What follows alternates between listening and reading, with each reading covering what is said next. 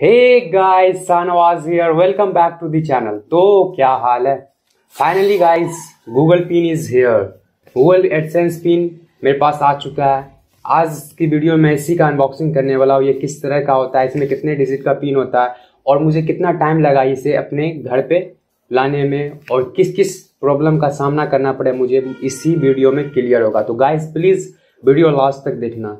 क्योंकि ये प्रॉब्लम आपके भी साथ हो सकता है। अगर आप नए यूट्यूबर है तो ये प्रॉब्लम आपके साथ निश्चित होगा। जिस तरह मेरे साथ हुआ, वो आपके साथ भी हो सकता है। इसीलिए आपको वीडियो लास्ट तक देखना है। तो चलिए बढ़ते हैं वीडियो की तरफ़। तो गाइस कुछ इस तरह का आपको देखने को मिलता है गूगल एडसेंस पिन इसके चारों साइड आपको लेयर लेयर मिला रहता है, जिसको काट के आपको फाने लिखा रहता है। सिर्फ़ यहाँ पे आपको टच करे, यहाँ पे आपका एड्रेस लिखा रहता है। कहाँ से आता है, देख सकते हैं। स्पीड पोस्ट यहाँ लिखा हुआ है और यहाँ पे आपका एड्रेस लिखा हुआ है। यहाँ कॉन्टेक्ट नंबर डालना बहुत ज़रूरी है ये।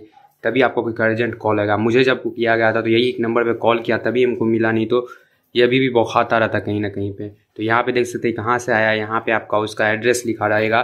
तो जस्ट इसको इस तरह से आपको ओपन करना है तो जस्ट इस साइड कुछ नहीं मिलता, और इस साइड आपको यहाँ पे देख सकते हैं, आपको सिक्स डिजिट का पिन तो सबसे पहले आपको यहाँ पे बता रहा है स्टेप वन साइनिंग द करें, अपने एडसेंस को लॉगिन करें। स्टेप टू बता रहा है कि पेमेंट गेट अकाउंट पे, पेमेंट अकाउंट पे जाना है स्टेप थ्री अकाउंट इन्फॉर्मेशन में जाना है और वेरीफाई एड्रेस आपको वहाँ पे पिन सबमिट करना है। तो ये आपको मैं प्रैक्टिकल दिखाऊँगा अपने लैपटॉप पे। तो चलिए बढ़ते हैं भाई चलते हैं लैपटॉप के स्क्रीन पर।